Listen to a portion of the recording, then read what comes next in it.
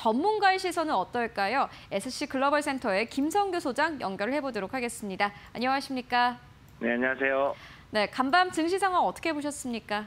네, 뉴욕 증시 굉장히 지금 혼조세 보이고 있습니다. 현재는 뉴욕 증시 고점 부담 있고 그다음에 목요일부터 있어서 FOMC 회의에 대한 경계 때문에 이 혼조세로 지금 마감을 하였고요.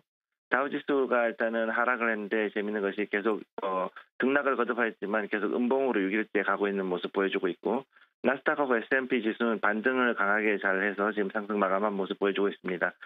기술주와 통신주 그다음에 에너지, 유틸리티주 쪽으로 일단 상승을 하는 모습 보였고 부동산과 경기 방어주는 일단 보합 마감하고 있습니다.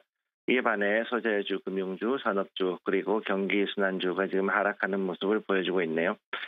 오늘 일단 중요한 것은 전체적으로 시장이 FOMC 회의에 대해 가지고 굉장히 민감한 모습을 보이고 있는데 중요한 것은 금리 부분이 아니라 유동성을 어떻게 할 것인가에 대해 가지고 시장이 굉장히 민감한 반응을 보일 것이라고 생각합니다.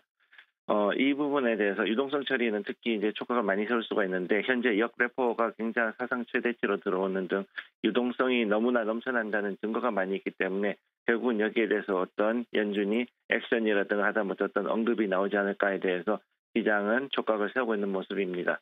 그리고 이에 반해서 국내 증시 같은 경우는 기존의 어, 연초 같은 경우 강력한 그, 그 거래량들이 많이 들어왔었는데 비해 가지고 지금 현재는 거래량이 급감하고 개인들만 약간 잠깐 들어갔다 하는 가운데 역시 지속적인 그 외국인이나 기관의 그 자금 유입이 없는 상태에서는 이 개인 매수로는 현재 지수 유지에는 상당한 어려움을 보이고 기대한 행보를 보일 것으로 보입니다.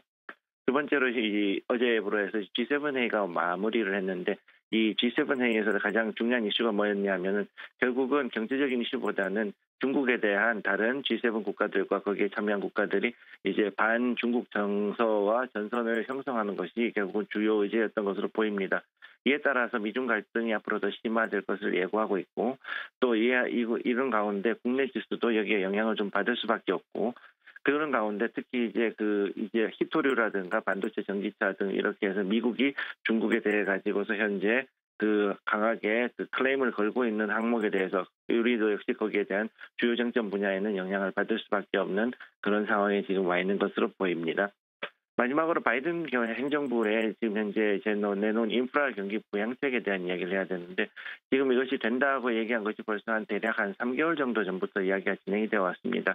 그럼에도 불구하고 아직까지 여기에 대해서 상원에서 번번이 좌절이 되고 각종 수정안이 나오는데도 불구하고 여기에 대해서 어, 상원은 여전히 이것을 인정을 해, 인준을 해주지 않고 있는 모습이기 때문에 현재 이런 상태가 지속이 되면은 상당히 장, 장기적으로 이것을 제재 끌거나 아니면 무산될 확률이 상당히 높아져서 이것을 이 바이든 행정부의 인프라 경기 부양책은 앞으로 그 미 증시에는 악재로 떠오를 수 있습니다.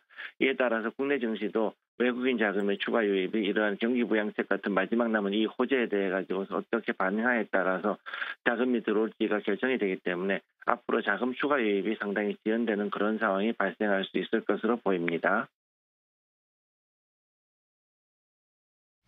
네, 알겠습니다. 지금까지 김성규 소장과 함께했습니다. 고맙습니다. 네, 감사합니다.